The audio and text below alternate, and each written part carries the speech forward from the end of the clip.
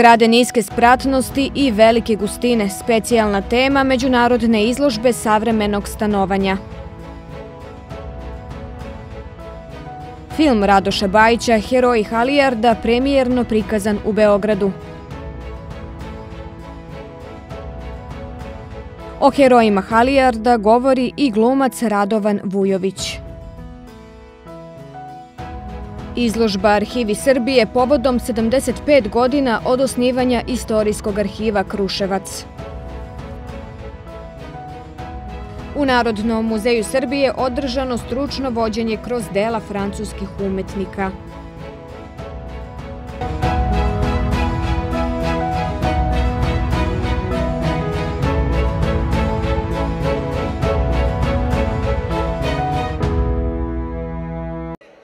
Zgrade niske spratnosti i velike gustine. To je rešenje za centralne gradske zone gde naravno većina želi da živi.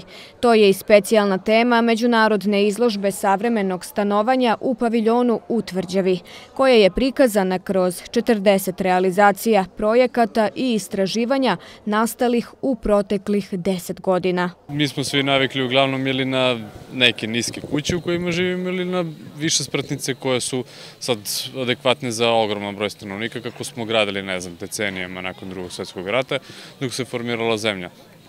Postoji neki alternativni modeli stanovanja nalik ovom kako smo mi sad obradili našom izložbom koji se odnosi na eto, niske spratnosti i velike gustine. A, nisu, nisu svi modeli primenljivi na svakom mestu. Znači da biste vi napravili neku više spratnicu koja ima 13, 14, 15 spratova, trebalo da imate dovoljno udaljenja u odnosu na ostale objekte, da imate dovoljno slobodnog prostora oko tog objekta, a često je situacija takva da konkretno u gradskim zonama, ovim centralnim, imate parcele koje nisu dovoljno velike da vi sad možete da planirate jako visoku zgradu. E, u tim situacijama je nekako uvek primerenije da imate objekat koji će imati neku nižu spratnost, a samim tim što je centar grada i svi žele da žive u centru grada, malo više forsirate gustinu naseljenosti, imate veći broj stanova u tim zgradama. To ne znači da su ti stanovi minimalne kvadrature ili da uslovi za život su tesni, već da sad uh, se nekim različitim prostornim manevrima, projektantskim, formiraju neka unutrašnja dvorišta, već otvorene površine koje sad obogaćuju, da kažem, kvalitet života u takvim zgradama. Što se tiče afiniteta, ide od osobe do osobe. Mislim, znate i sami da neki od nas više vole da imaju kuću i ne žele da čuju za stan, a drugi su odrasli u stanovima, ne, nije im e, prioritet da žive u kući. Tako da to može da varira od ljudi. E, možete imati nekvalitetan stan i na nižem spratu, odnosno u zgradi sa malim brojem spratova, a možete imati jako kvalitetan stan i u nekoj više spratnici samo ukoliko je sve to projektovano i izvedeno prema, da kažem, pravilima struke i da sve što je primenjeno od materijala u toj zgradi je na nivou na kom treba da bude. Pravila za gradnju su poznata, a da li se poštuju? Možemo reći delimično.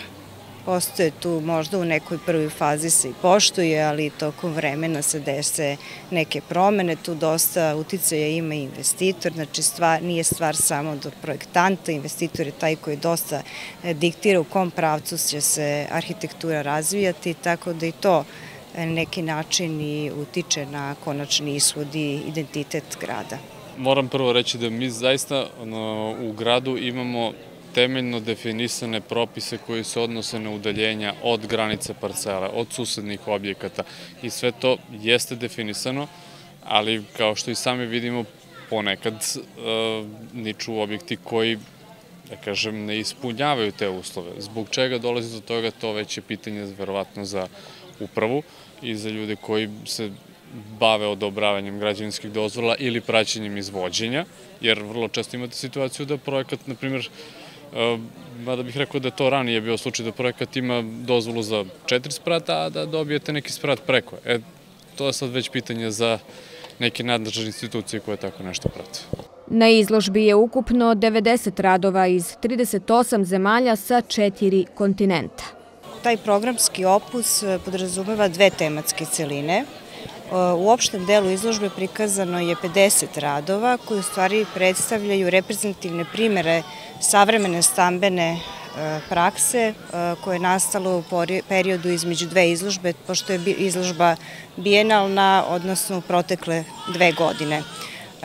Specijalna tema ovogodišnje izložbe je stanovanje niske spratnosti velike gustine i u ovom delu je prikazano 40 radova koji su nastali u prethodnih 10 godina. A, pored toga imamo revijalni deo ili prateći deo, to je izložba studentskih radova sa šest rodnih fakulteta e, i pet, iz pet e, zemalja. U pitanju je Tehnički univerzitet u Gracu, Arhitektonski fakultet u Skoplju, Arhitektonski fakultet u Zagrebu, Građevinsko-arhitektonski geodetski fakultet u Banja Luci, Arhitektonski fakultet u Beogradu i Građevinsko-arhitektonski fakultet e, u Nišu. E, ti radovi su zapravo rajčita studentska istraživanja na različite teme, a neki cilj E, povezivanje, u stvari umrežavanje naših akademskih institucija u cilju razmene znanja i iskustava i u ostalom unapređenja rada, metodologije rada sa studentima. Ono što je različito, različiti su ti metodološki pristupi, na primer, ali je ono što isto je tendencija e, da u stvari unapredimo, da živimo bolje da unapredimo kvalitet života, da unapredimo kvalitet životne sredine i upravo sad ti neki metodološki pristupi se razlikuju tako, zavisi od zemlje do zemlje, ali svi mi težimo ka zdravijoj sredini, ka zdravijem i lepšem kvalitetu života, tako da ono što nas povezuje u stvari e, tendencija ka unapređenju kvaliteta života i stambenog komfora kada pričamo o stanovanju. Nekako ispada da je investitorska arhitektura nešto što je dominantno kod nas i nešto što je odlučujuće na kraju krajeva.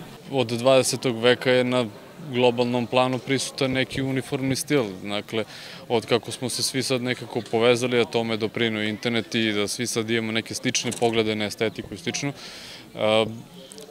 arhitektura vrlo slično deluje širom sveta. Konkretno u Nišu mi, da kažem, ne znam kako bih konkretno karakterisao šta je ovo što mi vidimo, ali je to neka savremena gradnja. Mi ne možemo ni da gradimo da, tako da sad ti neki objekti koje gradimo izgledaju kao da su završeni pre 200 godina, jer to onda ne bi bilo korektno prema, da kažem, istorijskim objektima.